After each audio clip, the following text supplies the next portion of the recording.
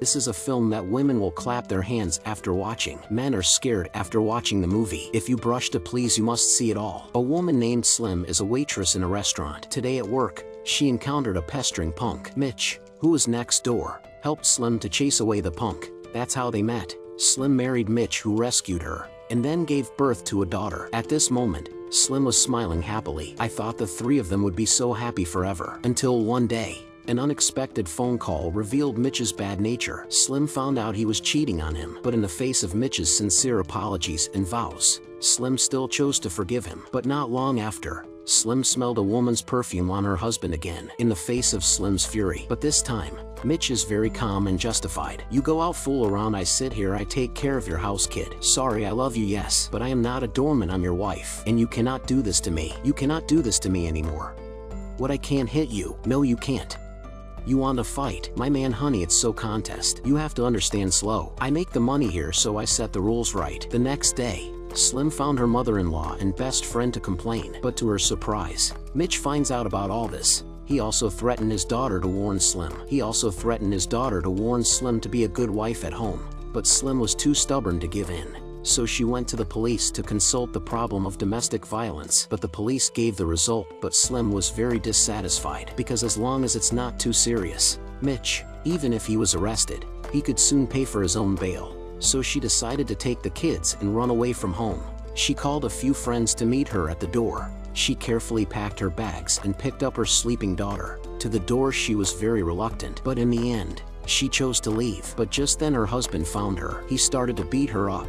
At that moment, friends heard Slim's screams and came in. Slim was already knocked unconscious on the ground. Mitch took the gun and told them to mind their own business, but the wise uncle took the opportunity to call the police and wake up his daughter. Look at Papa really wake up. Wake up look at your mama. Mitch had no choice but to put away the gun and let them go. Finally they arrived at a hotel, but when she swiped her card, she found that all the cards were frozen. With the help of a friend, Slim and her daughter checked into a motel, but what she didn't expect was that her husband, with the help of a police officer friend, would soon track them down. So she hugged her daughter and left through the window in a panic, and quickly got on a bus, which was able to escape from her husband. So with the help of her friends, Slim made a bold decision. In the face of her husband's repeated violence, Slim took his daughter to the home of his ex-boyfriend abroad. Looking at the former lover came to join, the ex-boyfriend looked particularly happy. But that night, several people claiming to be police officers broke into the ex-boyfriend's house. After some fruitless search, one of them used a dagger to hold the ex-boyfriend's neck. Obviously they were not police officers. They were gangsters sent by Slim's rich and powerful husband,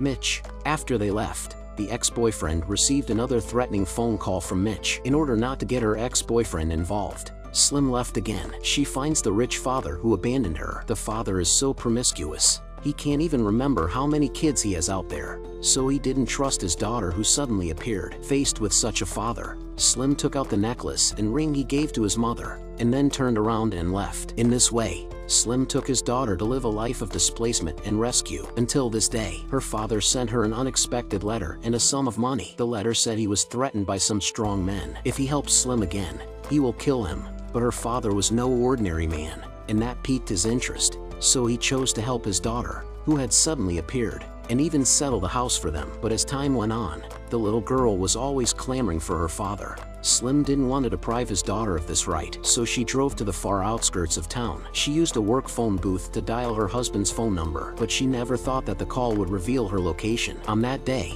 Slim was at home packing clothes. I want you back. No. Then, Mitch covered Slim's mouth and slammed her back and forth on the wall then slammed Slim to the ground and strangled her. And this scene was just seen by the daughter. The daughter grabbed her father's hair and covered his eyes, but the father shook it off. Slim also took the opportunity to use mace, and then hugged his daughter and left in a hurry. To avoid her husband's pestering, Slim gave her daughter to her girlfriends to travel abroad, and she went to a local lawyer who was very famous. However, after listening to her, the lawyer also said that the situation was very unfavorable to her and her chances of getting custody of her daughter were almost nil. Slim finally realized that running away from her husband's threat of violence was not an option. The best way to protect herself is to fight back. So she found her father again and asked him to introduce herself to a very powerful boxing coach. Mitch is often violent with his wife. The wife decided to stop being silent, So she hired the best fight trainer and started the highest intensity training. She used a rope to train her breathing and physical strength. She used a ball thrown by the trainer to train her reaction speed,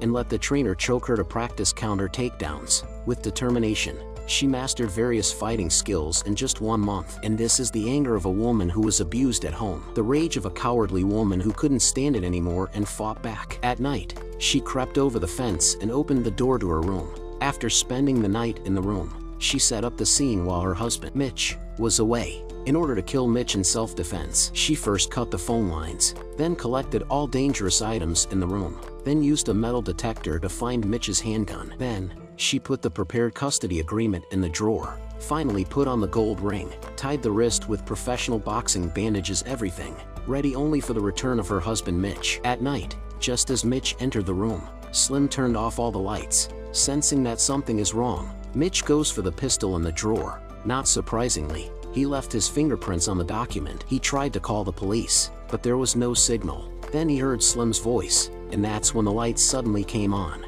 Seeing that Slim was alone, Mitch was no longer afraid, but Slim's next few slaps left Mitch in disbelief. Then, Mitch came up with a surprise attack. Then Slim slapped Mitch in the face to trigger his anger. In the face of Mitch's repeated attacks, Slim successfully dodged and deliberately led her husband to create the scene of domestic violence. And the husband was also beaten nostril bleeding, powerless to fight back. Then she deliberately let Mitch choke her neck, and after leaving marks, she managed to get out of control.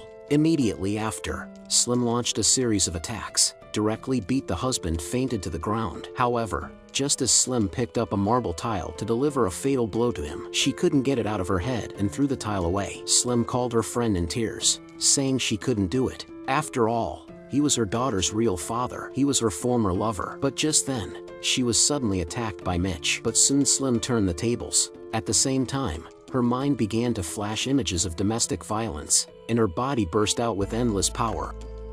She then called the police and threw all her tools into the river. The police arrived and, not surprisingly, Slim was eventually found not guilty of self-defense.